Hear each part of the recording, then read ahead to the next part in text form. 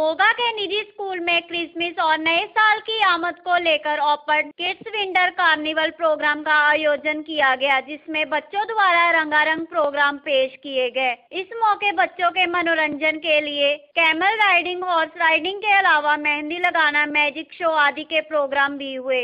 इस मौके बच्चों द्वारा बनाए गए सामान को नया रूप देकर सामान की प्रदर्शनी भी लगाई गई। पानी बचाओ की कोरियोग्राफी भी दिखाई गई। इस प्रोग्राम में मोगा शहर के दूसरे स्कूलों के बच्चों ने भी फैंसी ड्रेस में भाग लिया। इस मौके बच्चों के माता पिता ने भी खूब आनंद लिया और इस प्रोग्राम को सराहा। मोगा से हरपाल सिंह, सबसे फास्ट आमने सामने।